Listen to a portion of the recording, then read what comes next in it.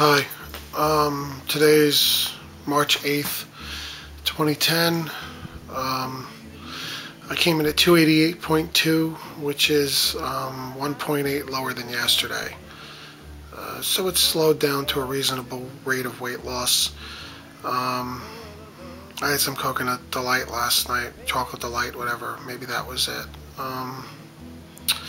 I'm in here and not at my laptop because my son's off from school today and he's in the other room playing Wii with a friend and they're very loud. Um, I hate doing it with the camera. I have to hold it up. So, um, that's really about it. I don't know if I, I don't have anything much to say. Uh, I don't know. I can't think of anything. Um, you know, my first first thing was only 1.8. You know, I really was hoping it was at least two.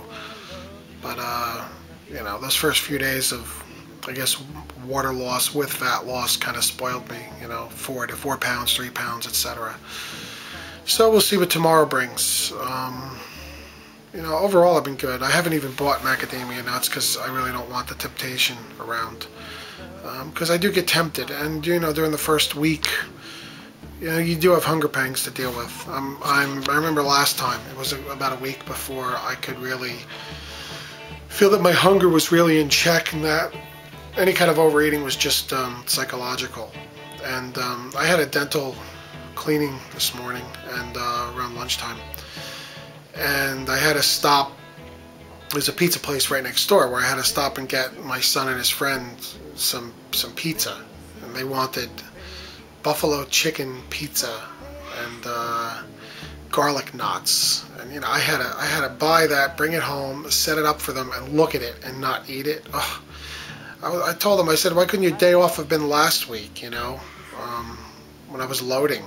You know, I didn't even think of having that when I was loading. Anyway, I I, I didn't eat it. Um, I just made my uh, I had my cucumber and. Uh, little bit of beef that I'm allowed to have, and an apple. And, uh, you know, that's about it. So, I've just been drained between looking for a job and things like that, things going on in my personal life, and uh, stuff like that. So, I'm just kind of blah. So, I'm trying to be a little more upbeat. We'll see. It's not working yet. But hopefully with the weight loss, that going in the right direction, that'll that'll open up different things. So I guess maybe I'll sign off for now. I hate the way I look when I do this with the camera. Anyway, sayonara.